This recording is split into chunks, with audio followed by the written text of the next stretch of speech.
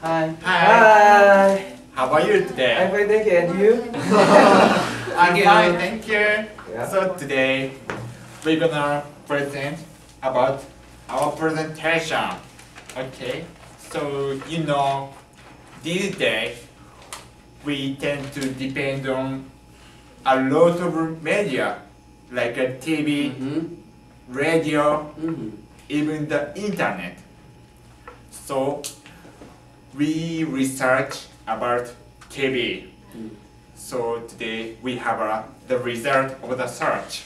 Mm. Okay.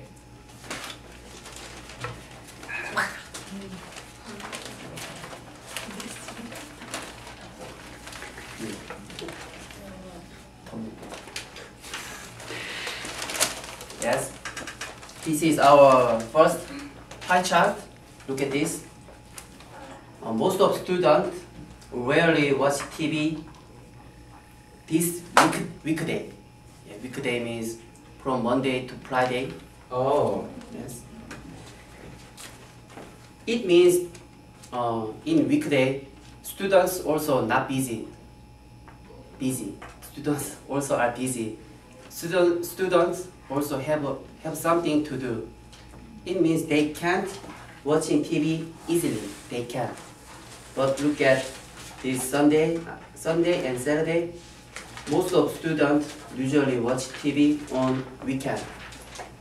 Some students said to us they were bored, they were free in weekend.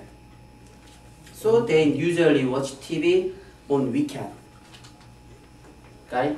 Got it. Yeah, this is our first conclusion about the day, the best day to watch TV pie chart. Yes.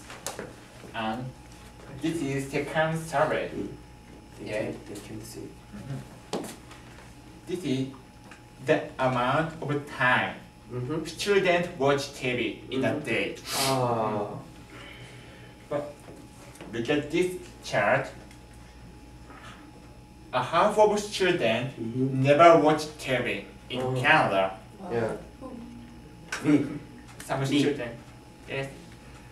But I think I it's have. because of they don't have TV Yeah. in house. Mm. That's true. In my conclusion, Mhm.